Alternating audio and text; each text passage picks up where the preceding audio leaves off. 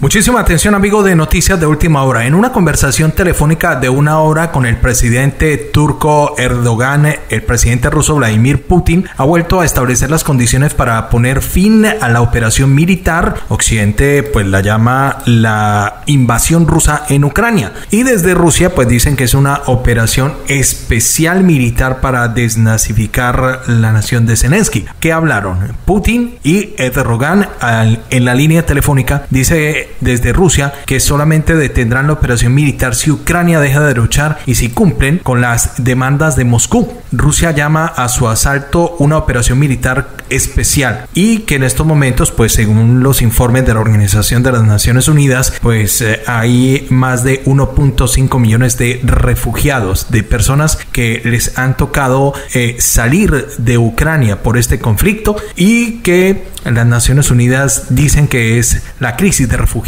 que ha tenido un aumento significativo en los últimos tiempos en Europa desde la Segunda Guerra Mundial. Erdogan instó a su homólogo ruso a declarar un alto al fuego en Ucrania, abrir corredores humanitarios y firmar un acuerdo de paz. Miembros de la OTAN con Turquía comparten una frontera marítima con Rusia y Ucrania en el Mar Negro, que tienen buenos lazos con ambos. Ankara calificó la invasión de Rusia como inaceptable y se ofreció a albergar las conversaciones en torno a este tema.